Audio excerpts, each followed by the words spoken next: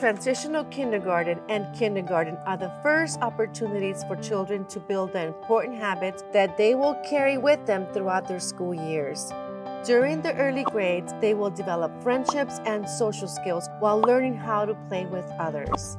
Being present every day is key to helping young students learn pre-reading and math skills. Those who miss 10% of a school year, or about two days each month, are more likely to be behind in reading and math when they reach third grade. You can help your child build good habits and create a strong educational foundation by ensuring that they are prepared to be present and attend school every day.